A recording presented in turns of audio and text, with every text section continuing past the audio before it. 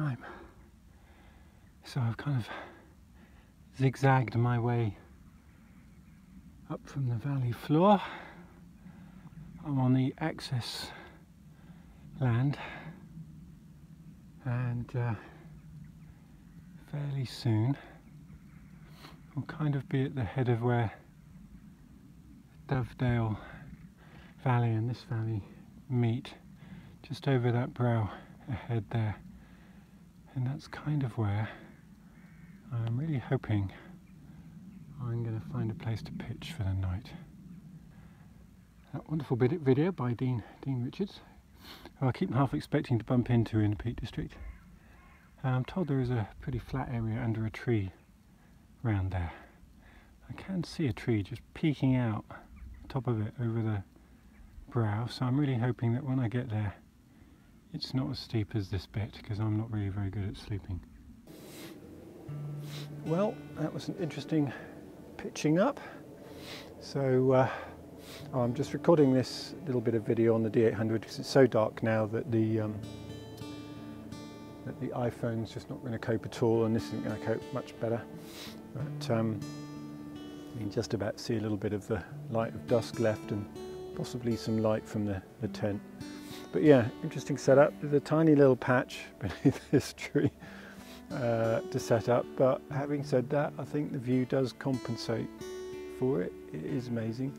There wasn't room uh, to put my tarp up the other way round and normally have it facing out what I consider to be the front of the tent with the larger entrance but I wanted the larger entrance facing the view but uh, it falls away too steeply for that so I've uh, erected the tarp to come up over the back and that's going to be my little kitchen area where I'm going to now have a nice little cup of know, hot chocolate I think. Um, it's dark really early 25 to 5 and uh, yeah amazing. 25 to 5 and it's practically dark. Um, so sunset would have been at about 20 past 4 today well it's about half past 8 in the evening I've eaten a nice cup of hot chocolate unfortunately I've lost um, some of the footage that I put together earlier uh, when I was cooking. Probably a consequence of not pressing the record button properly. Um, but never mind, I guess that's life, isn't it? Um, it wasn't that exciting, to be honest. Um, I was explaining a couple of things, though, about my cooking system, which uh, I would say has improved somewhat by two radical purchases. Um, I do now have a wind screen for the stove that is actually the right size and um, it it actually covers from the ground up to the ring itself and so and just a little bit beyond so it provides much much better wind coverage and that meant has meant that things are cooking in a fraction of the time that they were before.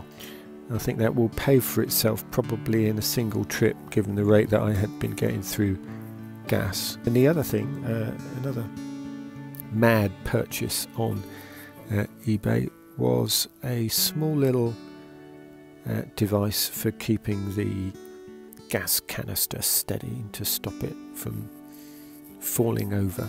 So just a little three-legged thing. So, um, so no, it's actually been um, been a much better cooking experience.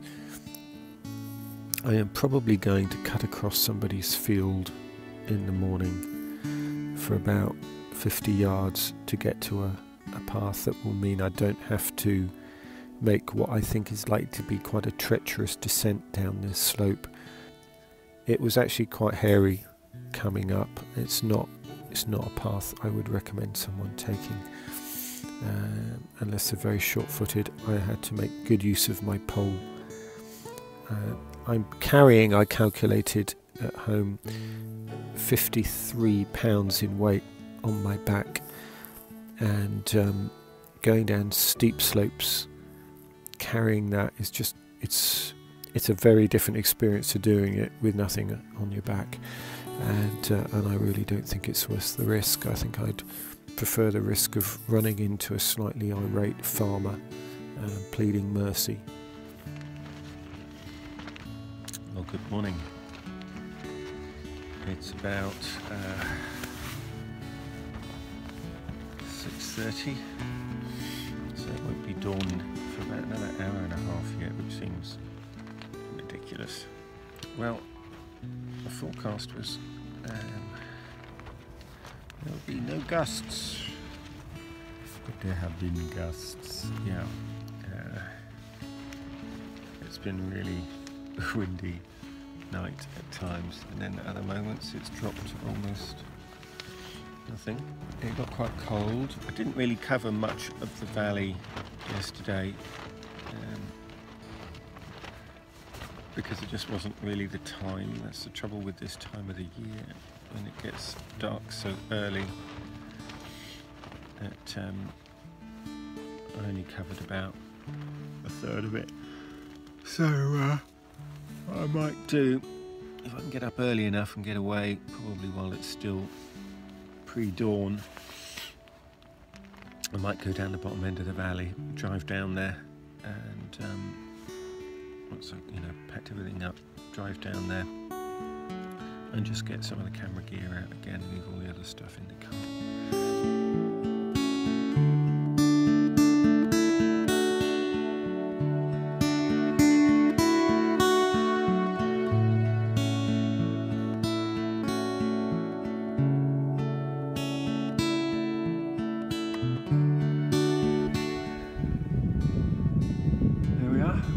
Up and ready to go. Uh, I can see this a little better now and I think I was able to show yesterday evening.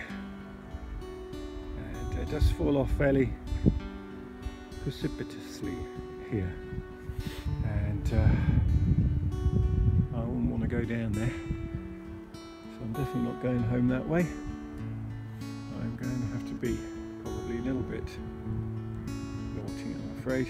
And uh, cut across someone's land. It's only a very short little shortcut, so I hope they all forgive me. Uh, classic no visible trace. Uh, completely clear sight. It actually wasn't too bad a pitch.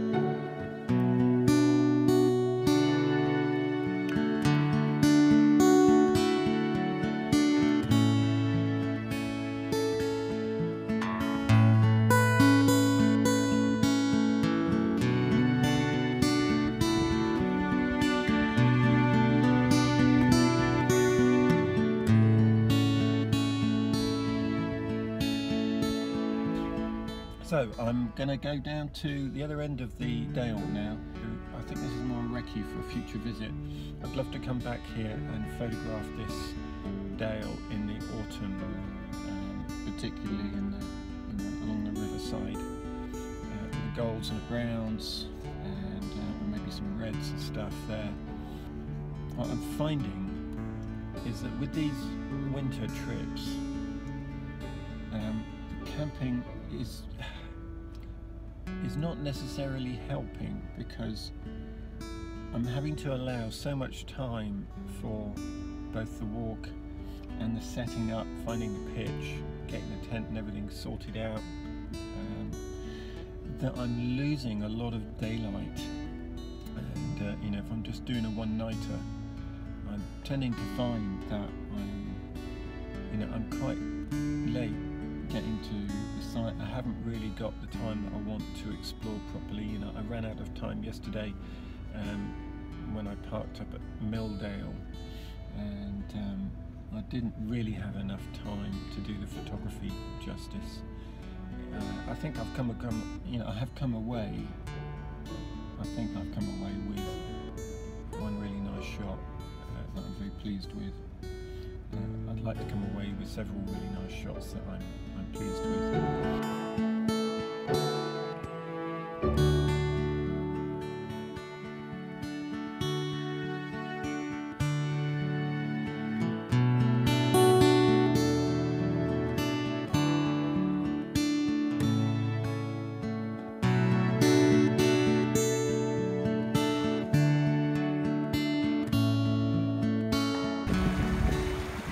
So I'm looking at that little kind of half island up there and I'm wondering whether that might be a nice little photo opportunity if I was stood in the water. I've got my wellies on. It's quite shallow river.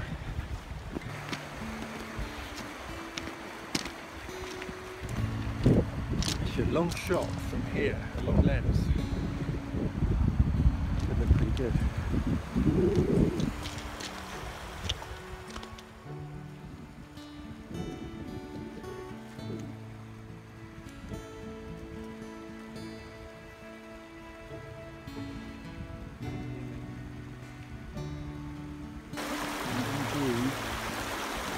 Uh, base my long exposure big stopper settings on this. I'm also going to put, um, just as an experiment, I'm going to put my soft grad on uh, as well.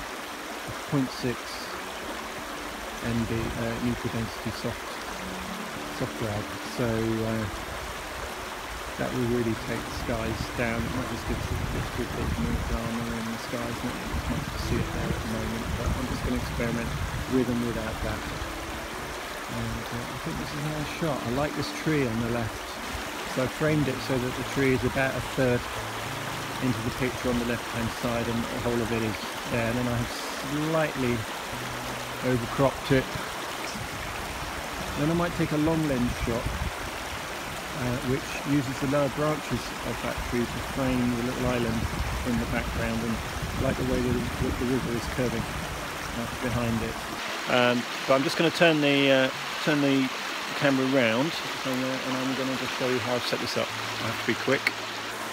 So we've got the hard, uh, sorry, the soft grad in the second slot on the mount and we stop the mounting bracket there.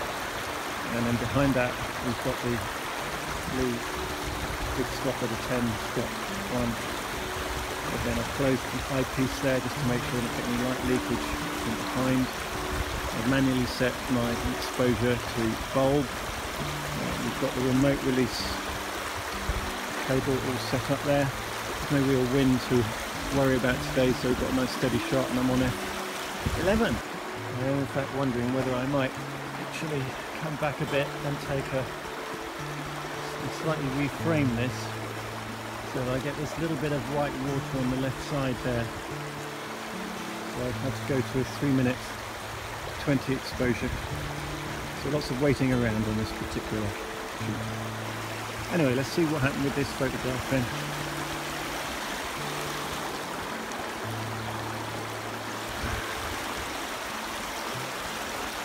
Well, that's not too shabby really, I think. I've taken the tripod down a bit lower, not right down because otherwise I won't actually going to be able to frame it very well right. I want to kneel in the water. Okay, so it's not looking so bad. I love these reeds. I love the river here. I really have run out of time now.